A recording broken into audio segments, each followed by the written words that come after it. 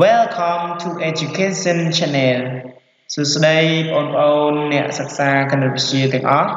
បាទសូមស្វាគមន៍មកកាន់ Channel Education KA បាទថ្ងៃនេះលោកគ្រូមានលំហាត់ថ្មីមួយទៀតហើយតកតងជាមួយនឹងសម័យកាល Expo និង Share បាទគេឲ្យដោះស្រាយសម័យកាលបាទដោះស្រាយសម័យកាលអញ្ចឹងនេះសម័យកាលគេមាន2នៅលើ9ទាំងអស់ស្វ័យគុណ x គុណឲ្យ8នៅលើ27ទាំងអស់ស្វ័យគុណដក x ស្មើនឹង27នៅលើ64បាទអញ្ចឹងសូមបងប្អូនសាកធ្វើការដោះស្រាយសម័យកាលនេះតើមើលតើបងអាចធ្វើបានទេបាទយើងសាកស្កប់វីដេអូគ្រូហើយចាប់តាមធ្វើមក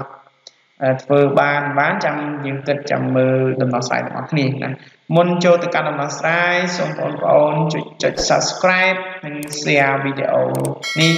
ឲ្យមិត្តភ័ក្តិយើងបានរៀនទាំងអស់គ្នាផងបាទអញ្ចឹងឥឡូវយើងចូលទៅកាន់ដំណោះស្រាយទាំងអស់គ្នាបាទចូលទៅកាន់ដំណោះស្រាយទាំងអស់គ្នាអញ្ចឹងមកមើលមើលខាងនេះមើលខាងនេះគេថាដោះស្រាយសម័យកាលនេះអញ្ចឹង2នៅលើ9ទាំងអស់សេគុណ x គុណឲ្យ8នៅលើ27ទាំងអស់សេគុណដក x ស្មើនឹង27នៅលើ64បាទអញ្ចឹងយើងដឹងថានៅក្នុងការដោះស្រាយសម័យកាល expo និង share បាទនៅក្នុងការដោះស្រាយសម័យកាល expo និង share មានន័យថាបើសិនយើងមាន a ស្វ័យគុណ x បាទ a ស្វ័យគុណ x ចឹងបាទបាទ a ស្វ័យគុណ x a ស្វ័យគុណ x ស្មើនឹង a ស្វ័យគុណ y បាទស្មើនឹង a ស្វ័យគុណ y តែលក្ខខណ្ឌ a យើងហ្នឹងបាទ a យើងហ្នឹង ធំជាង0ខុសពី1អញ្ចឹងគេទាញបានបាទគេទាញបានគេទាញបានតម្លៃ x x នេះគឺត្រូវស្មើជាមួយនឹងបាទ e ការ៉េបាទ x គឺស្មើ e ការ៉េអញ្ចឹងគេទាញបានស្វ័យគុណនេះគឺស្មើគ្នាជាមួយស្វ័យគុណណាកាលណាគោលដូចគ្នាបាទអញ្ចឹងដើម្បីដោះស្រាយសម័យកាលនេះជំហានដំបូងគឺយើងត្រូវលេខយ៉ាងណាឲ្យគោលរបស់ គោលរបស់សម័យកាលរបស់យើងបាទគោលរបស់សម័យកាលរបស់យើងណាគឺវាដូចគ្នាគោលរបស់សម័យកាលអង្គទាំងពីរនេះគឺដូចគ្នាសិន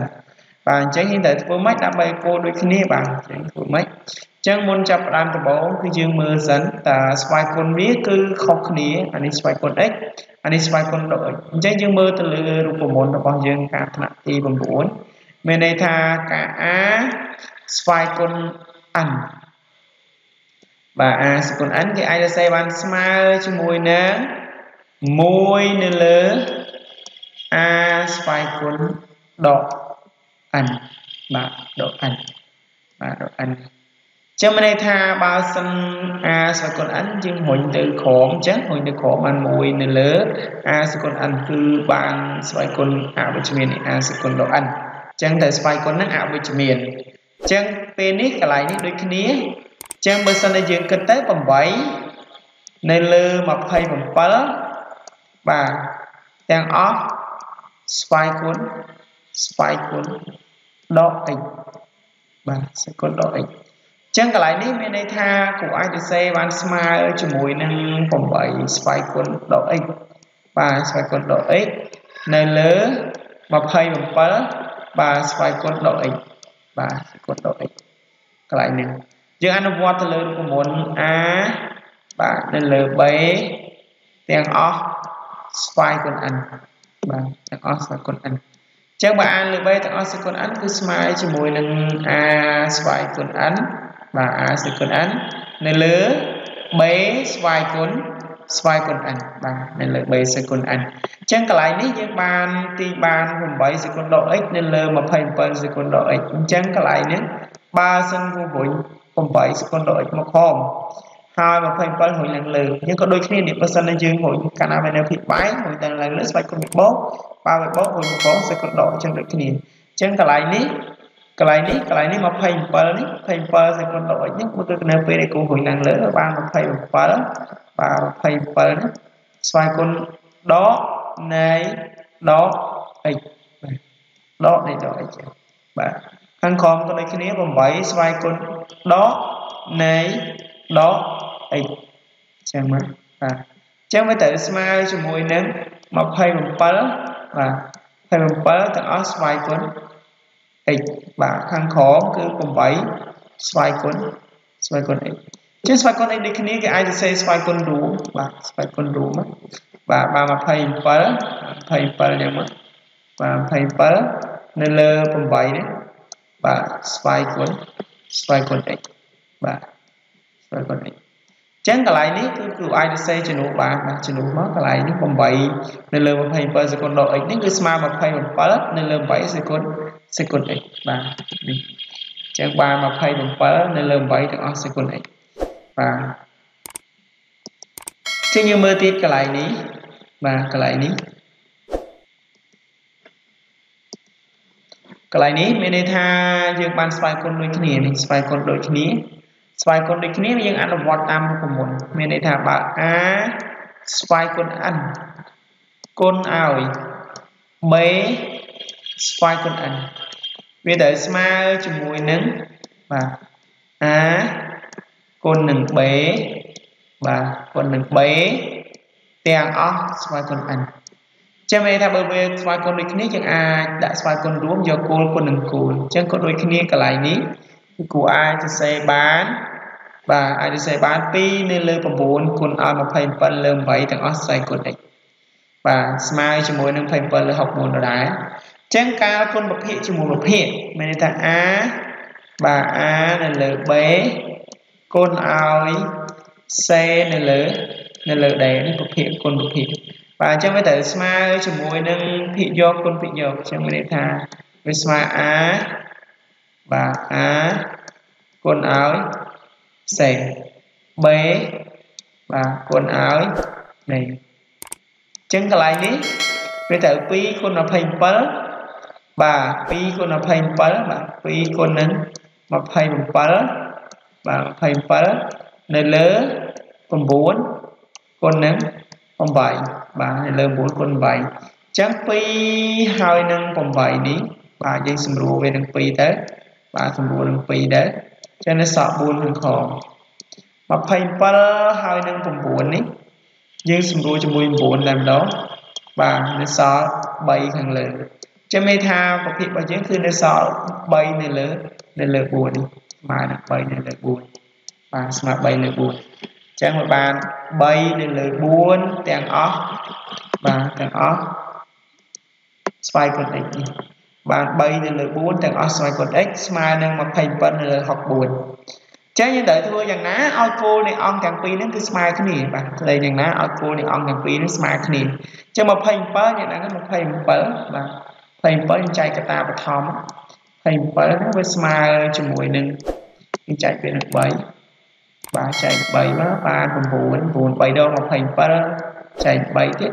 បាន3 3ដង9ចែក3ទៀតបានបាន1អញ្ចឹងមានន័យថា27គឺស្មើជាមួយនឹង3 3គីបបាទគិតយកយើងគឺ3 3គីប3គីបបាទ3គីប3គីប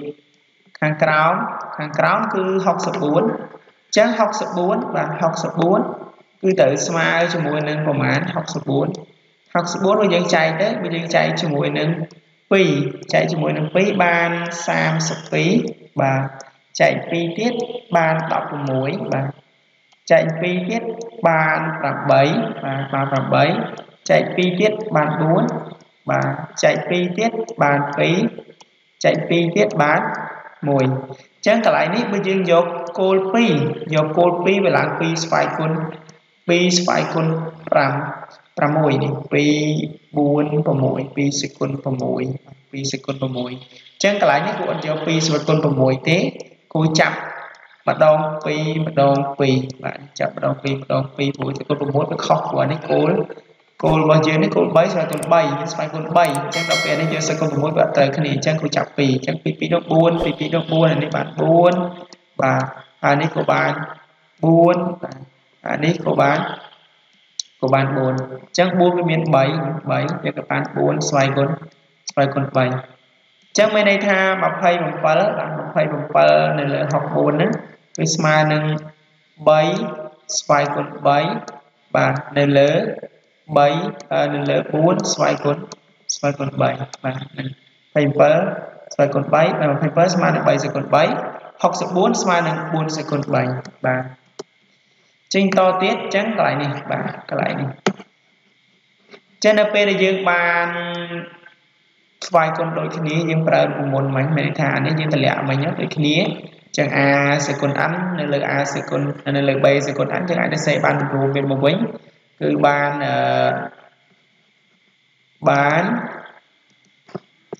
បាន3នៅលើ4ទាំងអស់សេគុណ3នេះបាទអញ្ចឹងបាន3នៅលើ4ទាំងអស់សេគុណ3អញ្ចឹងនៅពេលដែលគោលដូចគ្នានេះគោលដូចគ្នាហើយគោលដូចគ្នាអញ្ចឹងដូចគ្រូនិយាយមិញចាបើ a ស្វ័យគុណ x ស្មើជាមួយនឹង a ស្វ័យគុណ y បាទ a ស្វ័យគុណ y ដែលលក្ខខណ្ឌយើង a នេះធំជាង0ហើយខុសពី1អញ្ចឹងគេទាញបាន x ហ្នឹងគឺស្មើជាមួយនឹង y y អញ្ចឹងយើងសង្កេតមើលគោលរបស់វាដូចគ្នាហើយនេះគោលវា3លើ4អានេះក៏3លើ4បាទអញ្ចឹងគេទាញបានគេទាញបានបាទគេទាញបានសមុមកបាន x ស្មើនឹងស្មើនឹង3បាទ x ស្មើនឹង3ចឹងហ្នឹងដូចនេះបានអញ្ចឹងដូចនេះដូចនេះ x ស្មើ3ជាឫសសម័យកាលបាទជាឫសសម័យកាលអញ្ចឹងបានលំហាត់ជាងមានតែប៉ុណ្្នឹងឯងអញ្ចឹងបើសិនមានចម្ងល់ឬក៏ចង់សួរទាក់ទងជាមួយនឹងលំហាត់អាច comment ខាងក្រោមបានឬក៏អាចឆាតមក page របស់លោកគ្រូក៏បានដែរបាទគ្រូនឹងបើសិនគ្រូអាចធ្វើបានគ្រូនឹងធ្វើដំណោះស្រាយឲ្យបាទបើមានចម្ងល់អីផ្សេងទៀតក៏អាច comment ខាងក្រោមបាទ comment ខាងក្រោមទាក់ទងជាមួយនឹងរហ័សរបស់យើងអាច comment ខាងក្រោមខ្លួននឹងឆ្លើយតបហើយកុំភ្លេច share វីដេអូនេះឲ្យគ្នាយើងបានរៀនទាំងអស់គ្នាបាទអូខេបាយបាយ